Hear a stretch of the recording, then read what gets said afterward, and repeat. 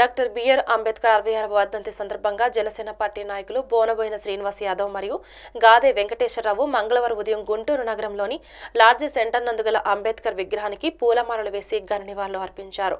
ఈ సందర్భంగా వారు మాట్లాడుతూ భారతదేశంలో డాక్టర్ బిఆర్ అంబేద్కర్ పుట్టడం మనందరి అదృష్టంగా భావించాలన్నారు. ఆ మహానుభావుడు రచించిన రాజ్యాంగంలోనే ఈ రోజుకు కూడా యావత్ భారతదేశం ముందుకు వెళ్ళడానికి కారణమవుతుందని ఆయన చెప్పిన సూక్తులు తూచా తప్పకుండా మనం పాటించాలని తెలిపారు. ఈ కార్యక్రమం జనసేన పార్టీ నాయకులు తదితరులు హాజరయ్యారు. మరి అవలంబించకుండా ఈరోజు ఆంధ్రప్రదేశ్ ముఖ్యమంత్రి మరి రా రాజ్యాంగాన్ని రాసిన బిఆర్ అంబేద్కర్ని కించపరుస్తూ ఈరోజు మరి నూట యా- నూట అరవై అడుగుల శృతి మనం ఎప్పుడు ఉందయ్యా ఆ, మేము అడుగుతున్నాము మరి ఈరోజు డాక్టర్ బిఆర్ అంబేద్కర్ శృతి వనాన్ని నిర్వీర్యం చేసేసి మరి ఆ, రాజశేఖర రెడ్డి శృతి వనాన్ని నిర్మించుకుంటా మరి శంకుస్థాపన ఓపెనింగ్ చేస్తున్నారు మరి దీన్ని ఎందుకంటే ఈరోజు ఆంధ్రప్రదేశ్లో మరి డాక్టర్ బిఆర్ అంబేద్కర్ గారి రాజ్య ఆర్ బిఆర్ అంబేద్కర్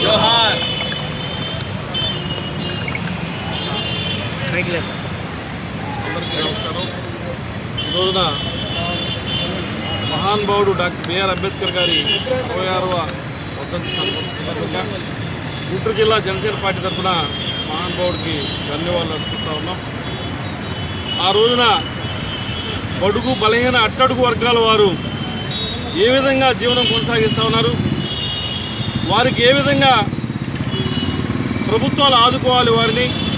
ప్రభుత్వ పరంగా ఏ విధంగా వారికి రిజర్వేషన్ కల్పించాలని ఒక పెద్ద మనసుతో ఒక రిజర్వేషన్ని బడుగు బలహీన వర్గాల వారికి అందించడానికి ప్రభుత్వానికి ఒక నివేదిక ఇచ్చినటువంటి మహానుభావుడు డాక్టర్ బిఆర్ అంబేద్కర్ గారు.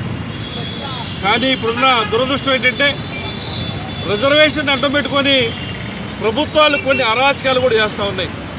ఆ మహానుభావుడు రచించింది అట్టడుగు పేద బడుగు బడుగు బలహీన వర్గాల వారి కోసం కానీ ఆ యొక్క రిజర్వేషన్ అడ్డం పెట్టుకొని ప్రభుత్వాలు వారి యొక్క ప్రభుత్వ కార్యక్ర ప్రభుత్వ పార్టీ కార్యక్రమాల్లో పావులు పంచుకున్నటువంటి కార్యకర్తల కోసం ఈ రిజర్వేషన్ ఉపయోగిస్తూ ఉన్నాయి. చాలా దురదృష్టకరం. మేము ఒకటే చెప్తా ఉన్నాం. అంబేద్కర్ గారు చెప్పారు పూలే గారి విప్లవ సిద్ధాంతాన్ని ఇందులో నేను ఉన్నాను.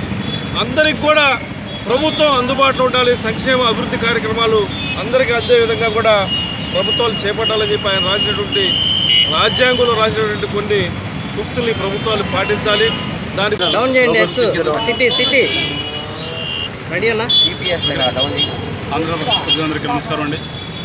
ఈ రోజున డాక్టర్ బిఆర్ అంబేద్కర్ గారి వర్ధంతి తరఫునగా జనసేన పార్టీ తరఫు నుంచి మా party general secretary government Srinivas Yadav గారు ఇక్కడ మా పార్టీ నాయకులందరూ కూడా కలిసి నివాళులు అర్పించడం జరిగింది. ఒక యుగ పురుషుడు మరణం అంటూ లేని వ్యక్తి లిటరల్గా వర్ధంతి అనేది చేస్తున్నాం కానీ వాస్తవానికి వర్ధంత లేని వ్యక్తి అంబేద్కర్ గారు. అలాంటి వ్యక్తి ఈ దేశంలో పుట్టినందుకు ఈ దేశ పౌరుడుగా అందరం గౌరవించాలి. గర్వపడాలి కూడా. ఆ మహానుభావుడు రచించినటువంటి రాజ్యాంగంలోనే ఈరోజు కూడా యావత్ భారతదేశం కూడా ముందుకెళ్ళడానికి కారణమైంది. ఏదైతే ఆయన చెప్పాడో ఆ సూక్తులను పాటించాలి తప్పితే ఏదో వచ్చేసి ఇక్కడ మనం ఆయనకి దండేసామా విగ్రహాలు పెట్టామన్నది కాదు. ఆయన బ్రతుకుండగానే చెప్పాడు నా విగ్రహాలు పెట్టి విగ్రహారాధన చేయొద్దు.